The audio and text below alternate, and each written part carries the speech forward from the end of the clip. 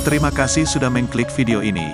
Semoga teman-teman semua selalu dimudahkan dalam segala urusannya dan dilancarkan dalam segala usahanya, serta selalu diberikan kesehatan dan kebahagiaan yang sempurna, yang penuh dengan keberkahan.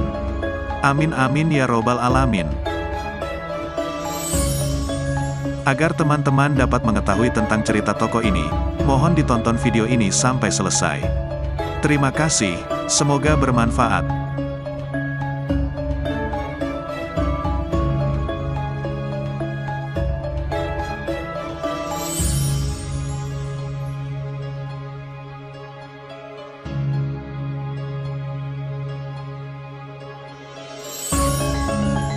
Bambang Irawan adalah putra Arjuna, salah satu dari lima satria Pandawa, dengan Dewi Ulupi, putri Bagawan Kanwa atau Bagawan Jayawilapa pedalangan Jawa, dari pertapaan Yasarata.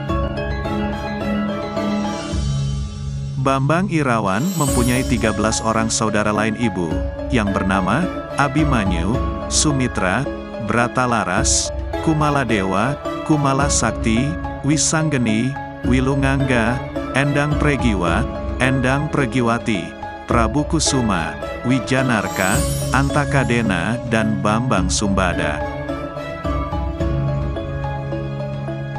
Bambang Irawan lahir di pertapaan Yasarata dan sejak kecil tinggal di pertapaan bersama ibu dan kakeknya.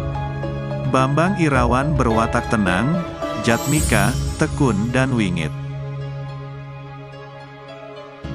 Menurut kisah pedalangan, Bambang Irawan tewas dalam peperangan melawan Ditya Kalasrenggi, putra Prabu Jata Gempol dengan Dewi Jatagini dari negara Gowa Barong, menjelang pecah perang Baratayuda.